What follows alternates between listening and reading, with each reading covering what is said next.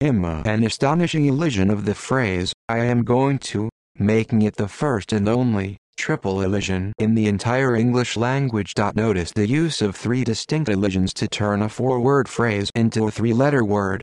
I am going to greater than, I'm going to greater than, I'm gonna greater than ima. Awesome ima. Yo Taylor, I'm really happy for you. And ima let you finish, but Beyonce had one of the best videos of all time. ima. I am a ima.